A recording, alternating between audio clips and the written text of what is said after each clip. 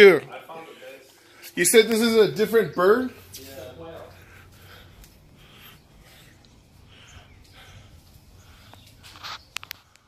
Okay. Harold, how do you know it's a quail? I know. They're brown Yeah, right? and small. This is pretty big. No. No? Pigeon, look how small she is. She's like this, like. No. Yeah, it's moving, but turn around, because I think that they are, I mean, she's uh, loading that uh, egg. Yeah, Mm. that's a quail. So, wait, like the dad came? Is this the dad or the mom? No, mom. The daddy is uh, delivering that. Uh, The food. Uh, uh, uh, uh, uh, uh.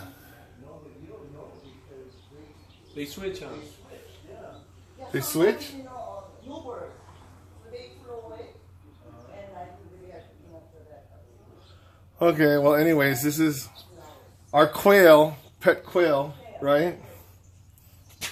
The national bird.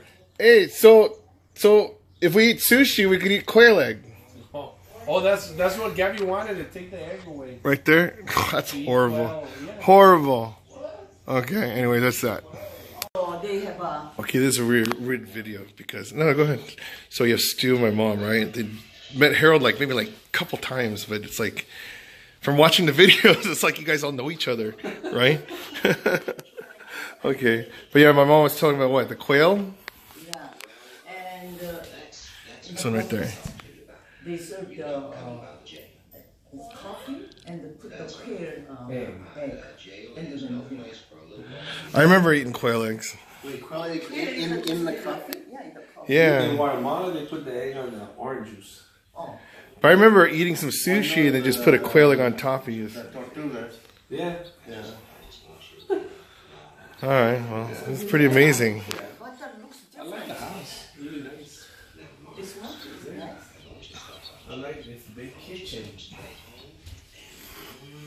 Yeah, nice. Okay, well, anyways, there's us hanging out. Yay.